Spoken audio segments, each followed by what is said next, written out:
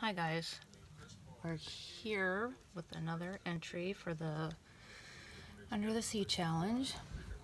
And this one is from Tri Customs Designs. And she sent an IC card.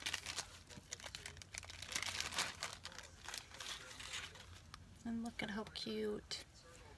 It's all shiny with the fish and the coral. That whale is so cute. So her first name is Rhonda. Her birthday is December 3rd. Uh, her favorite color is purple.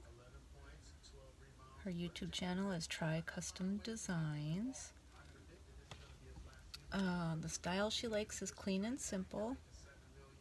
And her wish item is more 3D stickers. Look at how cute that is. Thank you, Rhonda, for taking the time to create me something. And I will mark you down for a IC card entry. So thank you for that, and I appreciate it. And if you guys aren't subscribed to her, go check her out. Tri Customs Designs. And thank you. And thanks for watching, and I'll be right back with another entry.